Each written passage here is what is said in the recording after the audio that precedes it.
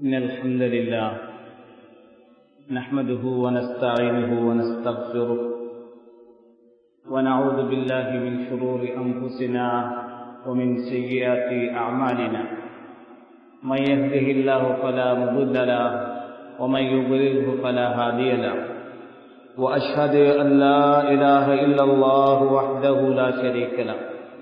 وأشهد أن محمدا عبده ورسوله أما بعد. فإن أصدق الكلام كتاب الله وأحسن الهدي هدي محمد صلى الله عليه وسلم وشر الأمور محدثاتها وكل محدثة بدعة وكل بدعة ضلالة وكل ضلالة في النار. اللهم صل على محمد وعلى آل محمد كما صليت على إبراهيم وعلى آل إبراهيم إنك حميد مجيد. اللهم بارك على محمد وعلى آل محمد كما باركت على إبراهيم وعلى آل إبراهيم إنك حميد مجيد. أعوذ بالله من الشيطان الرجيم. بسم الله الرحمن الرحيم. قاف. والقرآن المجيد. بل عجبوا أن جاءهم منذر منهم فقال الكافرون هذا شيء عجيب சர்வ புகழும் புகழ்ச்சியும் சர்வலோகங்களையும் படைத்து ஆட்சி செய்து கொண்டிருக்கின்ற வல்லநாயகன் அல்லாஹ் ஒருவனுக்கு சொந்தமானது சாந்தியும் சலவாத்தும் சத்திய தூதர் சன்மார்க்க போதகர் நம் தலைவர் நம் உயிரிலும் மேலானவர் முகமது முஸ்தபா ரசூலுல்லாஹி சல்லல்லாஹு அலஹி வசல்லம் அன்னவர்கள் மீதிலும் அந்நவர்களின் குடும்பத்தினர்கள் தோழர்கள் தொடர்ந்தவர்கள் முக்மீன்கள் முஸ்லிம்கள் அனைவர்கள் மீதிலும் என்றென்றும் குறித்தாகட்டும் என வேண்டியதென்று அன்புக்குரிய சகோதரர்களே அல்லாஹுவினுடைய நல்லடியார்களே புனிதமான வெள்ளிக்கிழமை தினத்திலே அல்லாஹினுடைய இந்த ஜும்மா கடமையை நிறைவேற்றுவதற்காக வேண்டி அவனுடைய மாளிகையாம் பள்ளிவாசலில் நாம் எல்லோரும் அமர்ந்திருக்கிறோம். அல்ஹம்துல்லா எனவே இந்த சந்தர்ப்பத்தில் குகைக்குள் சிக்கிக்கொண்ட மூன்று மனிதர்கள் பற்றி ஹதீஸுகளிலே வரக்கூடிய ஒரு சம்பவத்தை அடிப்படையாக வைத்து சில விடயங்களை ஞாபகப்படுத்தலாம் என நினைக்கின்றோம். ரசூலுல்லாஹி சல்லல்லாஹு அலேஹி வசல்லம் அவர்கள் சொன்னதாக இப்னு உமர் அலி அல்லாஹு அன்பும் அவர்கள் அறிவிக்கக்கூடிய செய்தி சஹீகுல் புகாரியிலே பதிவாகியிருக்கின்றது. சல்லல்லாஹு அலேஹி வசல்லம் அவர்கள் சொன்னார்கள் மூன்று மனிதர்கள் ஒரு பிரயாணத்திலே வெளியாகி சென்று கொண்டிருக்கிறார்கள். சென்று கொண்டிருக்கிற போது கடுமையான மழை பெய்கிறது. எனவே அவர்கள் அந்த மலையிலிருந்து தங்களை காத்துக்கொள்வதற்காக ஒரு மலையை நோக்கி ஒரு குகையை நோக்கி சென்று அந்த குகைக்குள் நுழைந்து விடுகிறார்கள். மழை பெய்யாமல் அந்த மலையிலே நிலையாமல் இருப்பதற்காக குகைக்குள் சென்று விடுகிறார்கள். ஆனால் ஒரு ஆச்சரியம் அந்த குகையினுடைய வாயல் மூடிக்கொள்கிறது. அந்த மூவரும் வெளியே வர முடியாத அளவுக்கு எந்த அளவுக்கு என்றால் அவர்களுக்கு வெளியிலே உள்ள எதையும் பார்க்க முடியாத அளவுக்கு குகை அதனுடைய வாயிலை மூடிக்கொள்கின்றது. இப்போது என்ன செய்வதென்று தெரியாமல் அந்த மூன்று பேரும் ஒரு முடிவுக்கு வருகிறார்கள். அந்த முடிவு என்னவென்று சொன்னால் உதுல்லாக அமலின் அமில் துமுகு நீங்கள் செய்த செயல்களில் மிகச்சிறந்த ஒரு செயலை சுட்டிக்காட்டி அதை அல்லாஹுடத்திலே சொல்லி நீங்கள் துவா செய்யுங்கள் என்று ஒருத்தருக்கு ஒருத்தர் சொல்லிக் கொண்டார்கள். நாம செஞ்ச அமல்களிலேயே நல்ல சிறந்த ஒரு அமலை அல்லாஹுடத்திலே சொல்லி இப்படி யாரெல்லாம் நான் செய்திருக்கிறேன் எனவே எனக்கு எங்களுக்கு இதிலிருந்து விடுதலையை பெற்றுட்டா என்று நாம் அல்லாஹுடத்தில் பிரார்த்திப்போம் என்று கூறி மூன்று பேரும் ஒரு தீர்மானத்துக்கு வருகிறார்கள். அந்த அடிப்படையிலே முதலாவது நபர் அல்லாஹூடத்திலே கேட்கின்றார். அவருடைய பிரச்சனை என்னவென்றால் அவர் சொல்லுகிறார் யா அல்லா எனக்கு மிக வயது போன ரெண்டு பெற்றோர் தாயும் தந்தையும் இருந்தார்கள். என்னுடைய வளமை என்னவென்றால் எனது ஆடுகளை அழைத்து கொண்டு தூர இடத்துக்கு சென்று பால் கறப்பேன் அதாவது மேய்ச்சலுக்காக கொண்டு சென்று திரும்பி வந்து அந்த பாலை முதலாவது என் பெற்றோருக்கு கொடுப்பேன். அதற்கு பிறகுதான் என் பிள்ளைகளுக்கும் என் மனைவிக்கும் கொடுப்பேன். தூர இடத்துக்கு ஆடுகளை அழைத்து சென்று அதனை நல்ல முறையிலே மேய்த்து அதனுடைய பாலை கறந்து வந்து முதலாவதாக என் பெற்றோருக்கு கொடுப்பேன். அதற்கு பிறகுதான் என் பிள்ளைக்கும் என் மனைவிக்கும் நான் கொடுப்பேன். இதை நான் செய்தது உன்னுடைய பொருத்தத்துக்காக என்றிருந்தார். இதிலே ஒரு தொடர் வருகிறது. அவர் தொடர்ந்து சொல்கின்றார் ஒரு நாள் நான் ஆடுகளை மேய்த்துக் கொண்டு செல்கின்ற போது அவர் அதற்குரிய மேய்ச்சல் புல் கிடைக்காத காரணத்தினால் நீண்ட தூரத்துக்கு அழைத்து செல்ல வேண்டி ஏற்பட்டது. வருவதற்கு தாமதமாகிவிட்டது இரவாகிவிட்டது. எனவே பாலை கறந்து பெற்றோரை அடைந்த போது பெற்றோர் தூக்கத்திலே இருந்து கொண்டிருந்தார்கள். அவர்களுடைய காலடியிலே போய் அந்த பாலை கொடுப்பதற்கு பார்க்கிற போது அவர்கள் தூங்கிக் கொண்டிருந்தார்கள். அவர்களை எழுப்ப முடியாமல் எழுப்பினால் அவருடைய தூக்கம் கலைந்து விடுமோ என்ற ஒரு அடிப்படையில் நான் அவர்கள் தூங்கி எழும்பும் வரைக்கும் பார்த்து கொண்டே இருந்தேன். ஆனால் என்னுடைய பச்சிலம் பாலகர்கள் குழந்தைகளுமோ என் காலடியில் பசியால் கத்திக் கொண்டிருந்தார்கள் அழுது கொண்டிருந்தார்கள். நான் அதனை கணக்கெடுக்கவில்லை.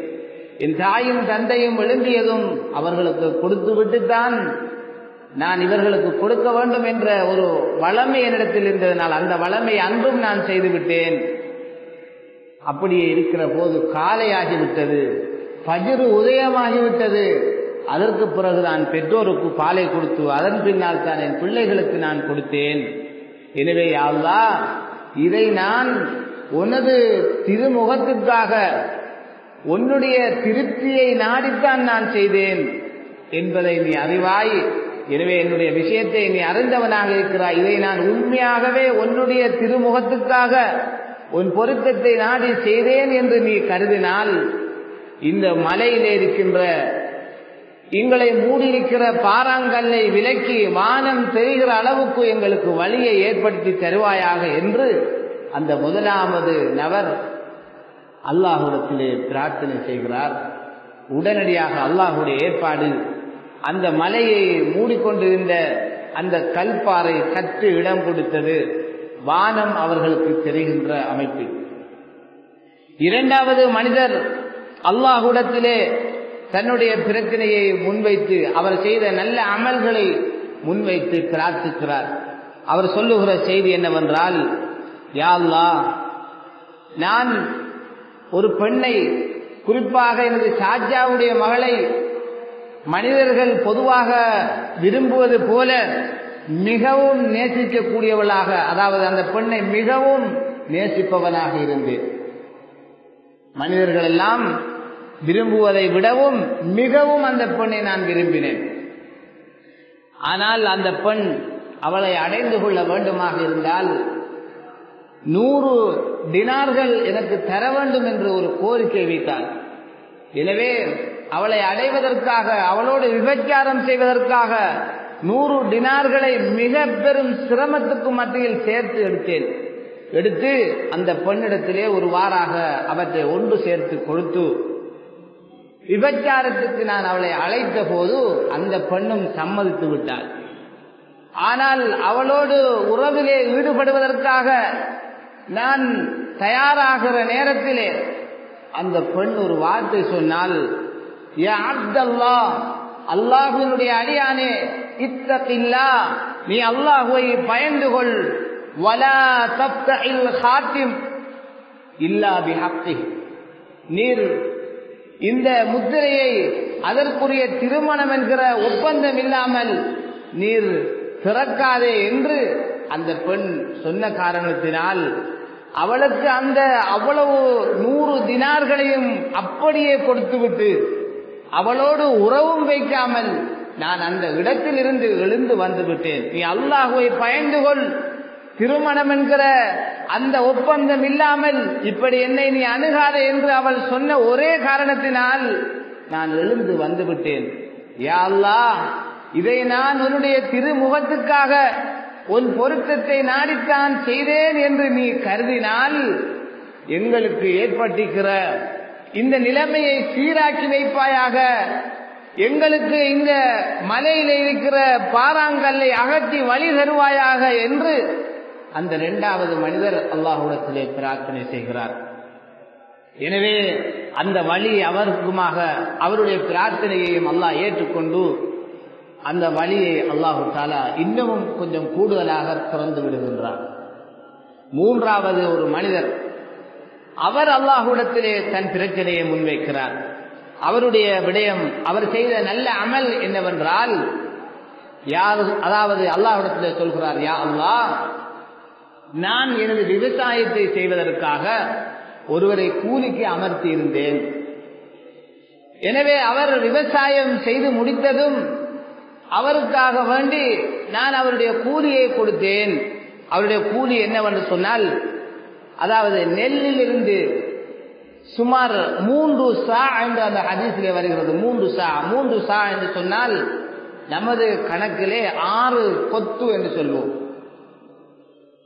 இப்படி நான்கு சுண்டுகள் ஒரு சா. அப்படி என்று சொன்னால் ஆறு கொத்து.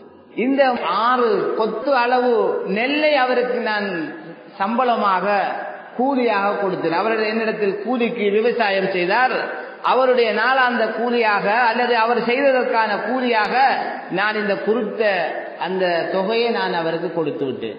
அவர் அதை எனக்கு தேவையில்லை. எனக்கு வேண்டாம் என்று மறுத்துவிட்டு அவர் சென்று விட்டார். இப்போது இந்த மனிதர் அல்லாவிடத்தில் தொடர்ந்து சொல்கிறார் யாழ்லா இவர் விட்டு சென்றதும் நான் அந்த குறித்த நெல்லை எடுத்து அதை விவசாயம் செய்து அதனால் உழைத்து சில மாடுகளையும் வாங்கி அதற்கு மேய்க்கு மேய்ப்பாளன் என்ற ஒருவரையும் ஏற்படுத்தி இப்படி நான் பராமரித்து வந்தேன். இப்படி செய்து கொண்டிருக்கிற போது திடீரென அந்த மனிதர் ஒரு நாள் என்னிடத்திலே வந்தார்.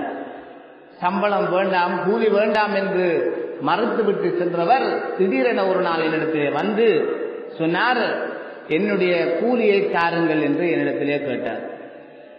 நான் சொன்னேன் இதோ இருக்கின்றதே மாடுகள் இது எல்லாமே உனக்குத்தான்.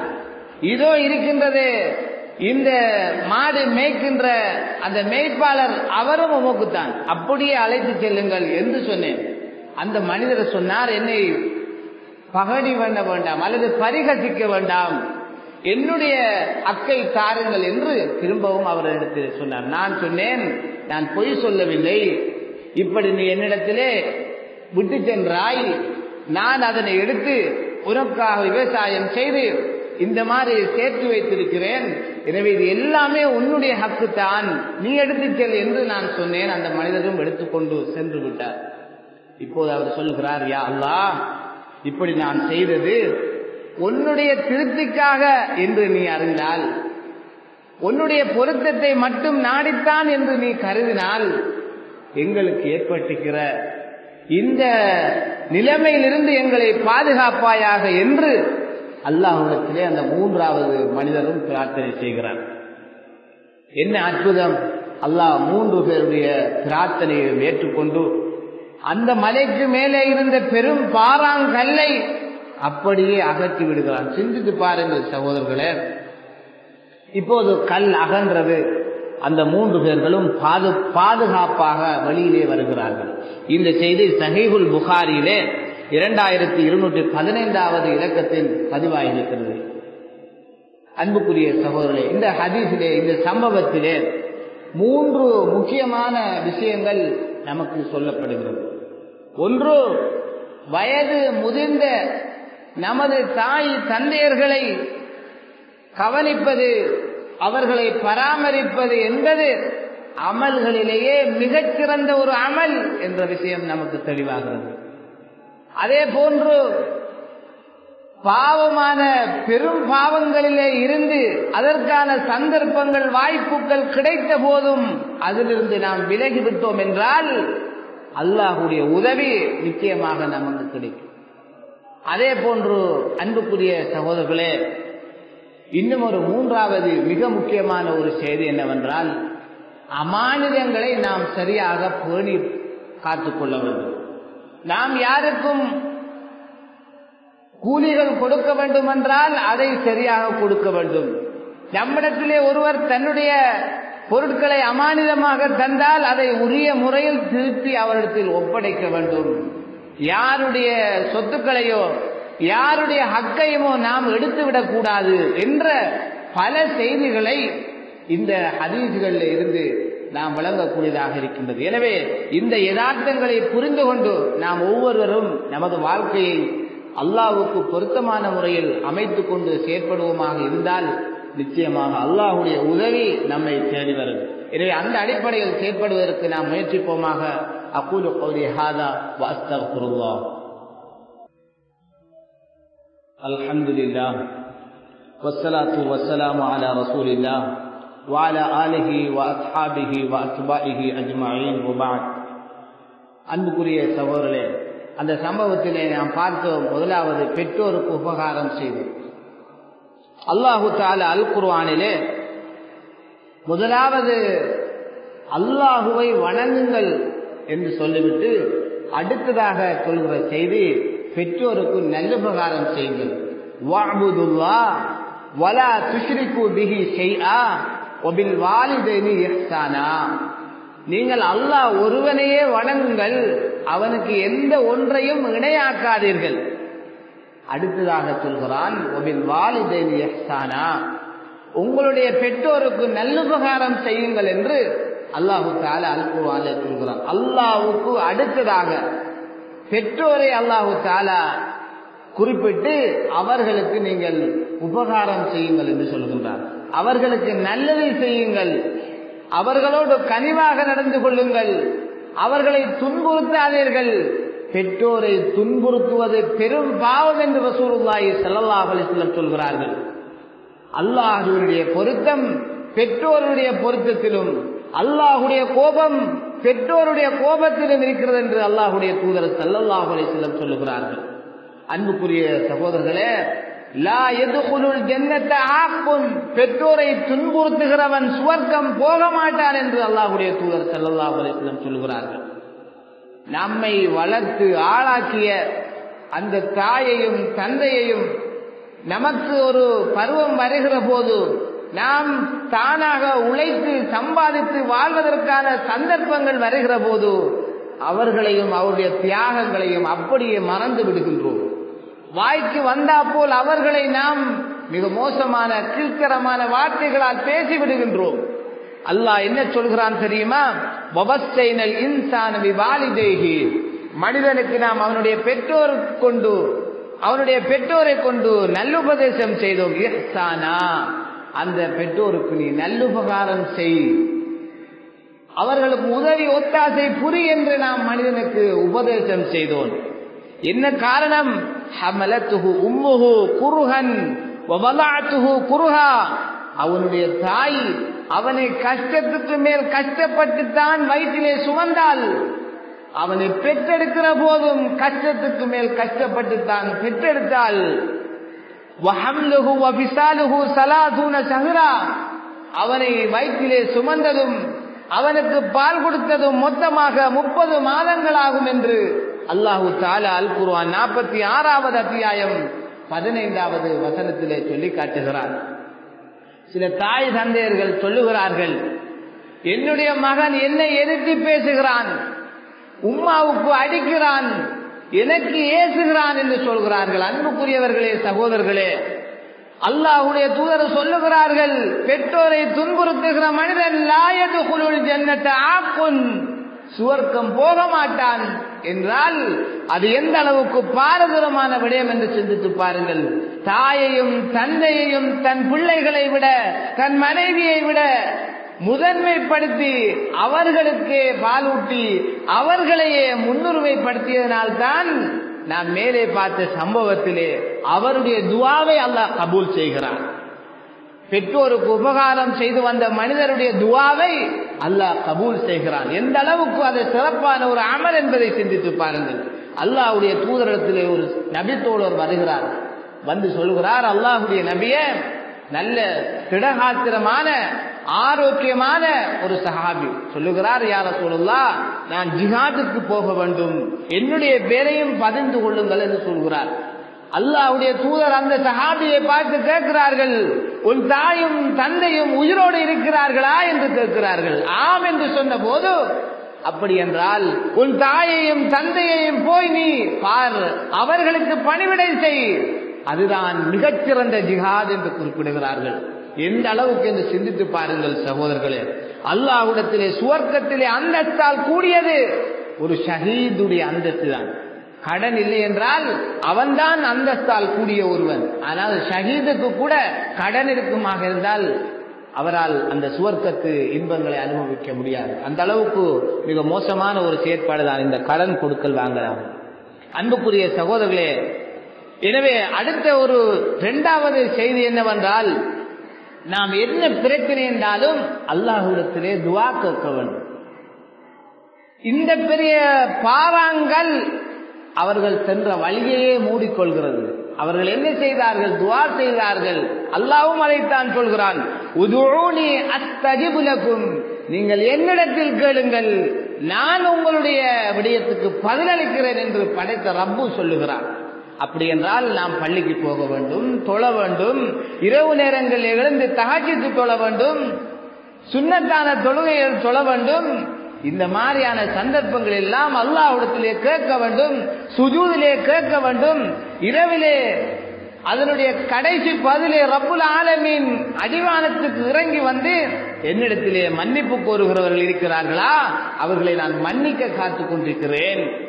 உதவி தேடுகிறவர்கள் இருக்கிறார்களா? அவருடைய தேவைகளை பூர்த்தி செய்ய காத்துக் கொண்டிருக்கிறேன் என்று அவனாக கேட்டுக் கொண்டிருக்கிறான். அன்புக்குரிய சகோதரர்கள் எப்படி நாம் நமது பிரச்சனைகளை அல்லாஹிடத்திலே முன்வைக்க வேண்டும்? என்ன பிரச்சனை என்றாலும் அதனை முழுக்க முழுக்க அல்லாஹ்விடத்தில் ஒப்படைக்க வேண்டும். அன்றைக்கு அவர்கள் ஒப்படைத்தது போல ஒமைய தவக்கல் ஆலல்லா பகுவ ஹஸ்பு யார் தன் பிரச்சனைகளை அல்லாஹுடத்திலே முழுக்க முழுக்க ஒப்படைப்பார்களோ அவர்களுக்கு அல்லாஹுவே போதுமானவர். முதலாவது அல்லாஹ்விடத்தில் பாரம் கொடுக்க வேண்டும். பாரம் கொடுத்து விட்டு உறுதியான நம்பிக்கையோடு அல்லாஹ் இருக்கிறான். அல்லாஹ் செய்து தருவான் என்ற நம்பிக்கை வர வேண்டும். அந்த பெரிய கடலை பிளந்து மூசா நபியை காப்பாற்றின ரப்புல் ஆலமின். ஈசா நபியை துரத்தி கொண்டு வருகிறார்கள். அந்த எதிரிகளின் தலைவனை ஈசா நபியுடைய தோட்டத்திலே ஆக்கிவிட்டு அல்லாஹ் அப்படியே வானத்துக்கு உயர்த்தி காப்பாற்றினான் அல்லவா? அந்த ரப்பு இன்றைக்கும் உயிரோடு இருக்கிறான் சகோதரர்களே.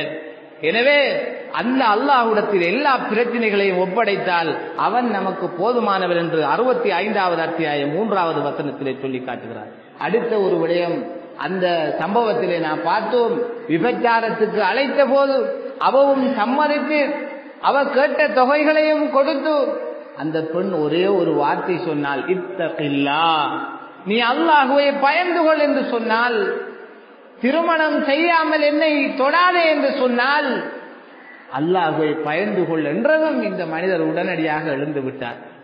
அல்லாஹ் என்ன சொல்கிறான்?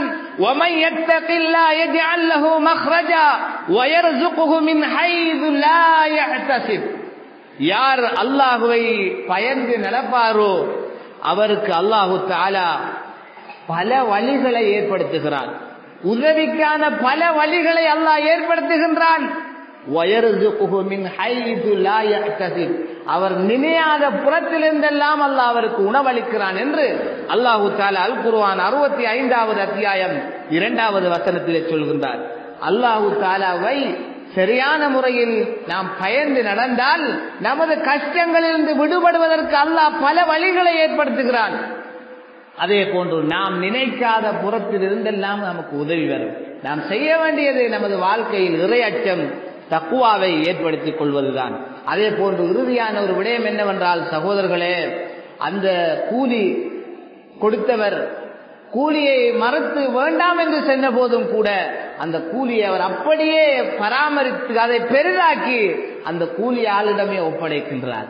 அல் குருவான் என்ன சொல்கிறது? வல்லதீனகும் அமானாத்திகும் வாழ்த்திகும் வஅஹ்திஹும் உண்மையான விசுவாசிகள் சுவர்க்கத்துக்கு அனந்தரம் கொள்கின்ற சுவனம் போவதற்கு தகுதியான உண்மையான விசுவாசிகள் யார் என்று சொன்னால் தங்களிடத்திலே நம்பி ஒப்படைக்கப்பட்ட அமானிதங்களை சரியாக பேணி நடப்பார்கள்.